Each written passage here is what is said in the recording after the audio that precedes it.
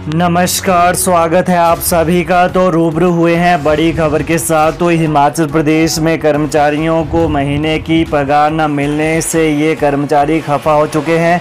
क्या खबर रहने वाली है? विस्तृत रूप से आपके समक्ष ज़रूर साझा करेंगे। तो आगे बढ़ने से पहले हिमाचल प्रदेश की ताज़ा खबरों को जानने के लिए कृपया चैनल को अभी सब्सक्राइब करें।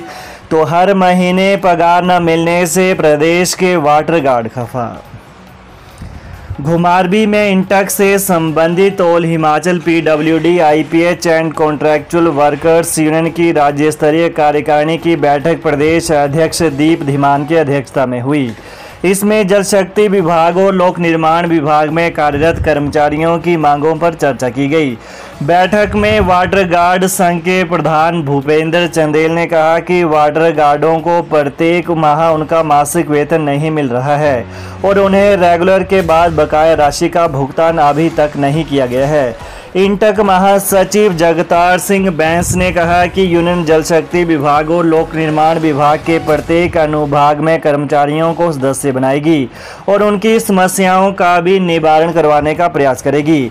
हिमाचल प्रदेश के सभी निर्माण प्रोजेक्टों में भी कामगारों को यूनियन का सदस्य बनाकर उन्हें हिमाचल प्रदेश भवन एवं अन्य निर्माण श्रम कल्याण बोर्ड से मिलने वाली सुविधाओं को दिलाएगी। कहा कि हर वर्ष में चार बार यूनियन की राज्य कार्यकारिणी की चार बैठकें हों। तो कुल मिलाकर ये रही बड़ी खबर कि हिमाचल प्रदेश में हर महीने पगार न मिलने से प्रदेश के वाटर गार्ड सरकार से खफा हो चुके हैं। तो अभी के लिए ये रही बड़ी खबर तो प्रदेश की ताज़ा खबरों को जानने के लिए कृपया चैनल को अभी सब्सक्राइब कर लें। धन्यवाद, जय हिंद, जय हिमाचल।